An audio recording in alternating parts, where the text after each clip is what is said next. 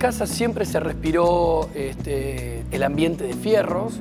Papá trabajó en un banco y un cliente del banco lo tomó como para hacer negocios de importación. Empezaban con importaciones de, de autos, eran autos de alta gama y después se fue conectando con, gente que se dedicaba a, o que trabajaba con máquinas viales y, y así fue como empezó con, con la parte de repuestos de máquinas viales.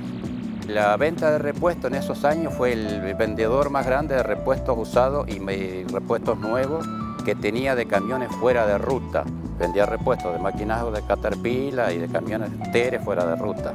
Había mucha gente que eh, diría, yo te consigo los repuestos, este, esto lo, lo, traemos, y capaz no cumplirían. Lo que sí tuvo mi padre era palabra, ¿no? Entonces este, no le quedaban cosas en el tintero, las cosas se resolvían.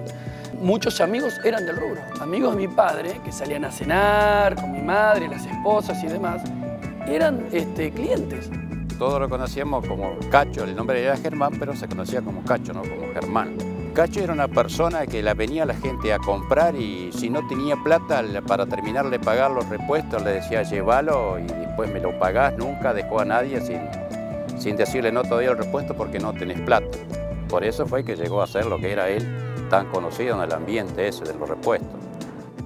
Me acuerdo que se levanta mi padre y me dice, Germán, ¿por qué no intentás, este, venís conmigo y probás? Si te gusta, bien. Y si no, bueno, seguís. Me encontré una persona súper generosa y, eh, y que te dejaba hacer. Y él seguro sabía que iba a haber una falla, un error en eso que yo proponía, pero me dejó hacer. La verdad que yo me sentí muy a gusto. Después de un par de años, bueno, después se enferma el padre, fallece el padre. No fue fácil porque calcúlele que uno se queda sin el, el que sabía todo, más o menos, que dirigía todo, cómo hacer. Nosotros sabíamos cómo hacer las cosas, pero el tema era tomar las decisiones y arrancar de vuelta. Cuando fallece papá es como todo, ¿no? Uno creía que ya estabas con las decisiones, pero la verdad que la última palabra siempre la tenía papá. Así que bueno, a salir adelante, pero no era más que aplicar todo lo que papá nos había enseñado respecto al negocio, respecto a los valores. Y en ese camino fuimos. En ese camino fui en un principio y después, obviamente, cuando se suma CRI, esta oportunidad entre Cristian y yo de, de, de, de, incorporar algo nuevo, de ver qué hacemos, sabíamos qué elegir, qué buscar, dentro de las opciones, qué nos convenía, qué nos convenía. Conocíamos el mercado, porque sí conocíamos por todo el tema del usado y sabíamos qué funcionaba, qué no funcionaba, qué medidas de cargadora funcionaban.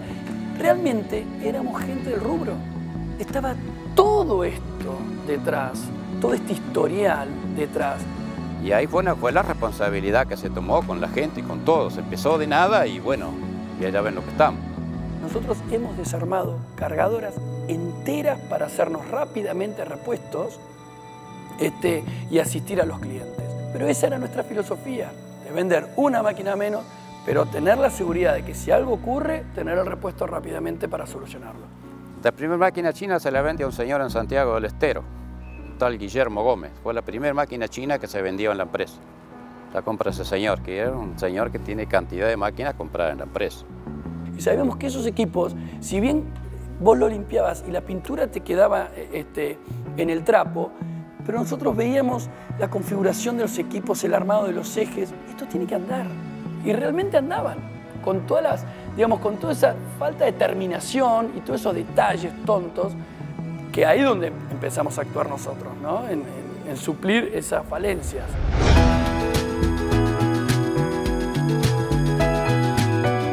Nosotros estábamos en Ruta 8 y Marque. Era un poco más chico que esto, ¿no? Por esa razón fue que después se dejó eso. Ya quedaban chicas, quedaban incómodas, no quedaban ubicadas donde, donde realmente eh, eh, era la vidriera vial. Nunca pusimos en duda si invertimos tanto o no invertimos tanto. El cliente no solo lo percibió, sino cuando viene, nosotros notábamos que ya había mil objeciones que había que derribar en la otra propiedad, que acá ya ni las derribábamos. Es decir, si íbamos a estar dentro de cinco años, es decir, ya ver esto no, no le daba duda al cliente. Estábamos instalados y acá no nos íbamos a ir. Entonces a eso le da mucha seguridad al cliente para comprar. Yo llevo 34 años en la empresa, de los cuales te estoy agradecido de, todo esto y, agradecerle a los chicos que me sigan teniendo a mí todavía con esta edad que yo tengo.